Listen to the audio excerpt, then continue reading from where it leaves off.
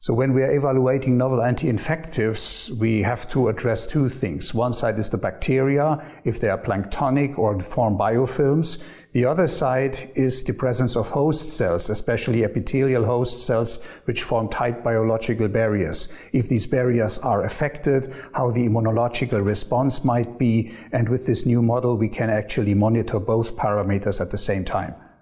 When treating bacterial infections, we have to realize what organ is affected. For instance, if it is the lung, we can take advantage and topically administer the drug as an aerosol. However, if we want to have a model for studying this, we need a model that also allows deposition of aerosols, which is the case in our model. The other advantage is that it's based on human cells so that we can avoid problems due to differences to animals and species differences.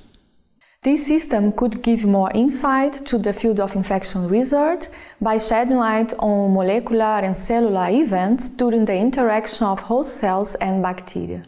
When attempting this protocol for the first time, remember to check the cell medium for sterility and cell morphology and to be careful when handling the permeable supports.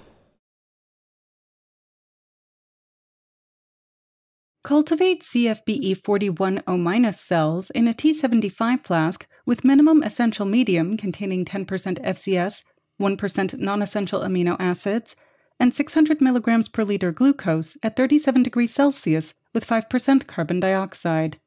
Add fresh medium to the cells every 2 to 3 days.